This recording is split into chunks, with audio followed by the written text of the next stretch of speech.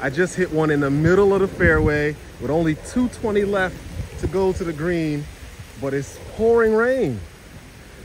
I don't know what to do. Should I go home or should I wait it out? I don't know. I, I think, I think I'm gonna wait it out. it's in the middle of the fairway. What am I supposed to do?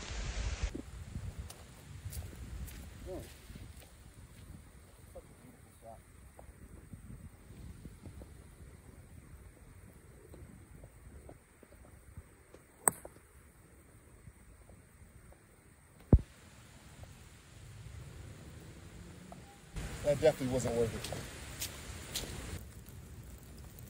it. I might be on the green. This might be worth it after all.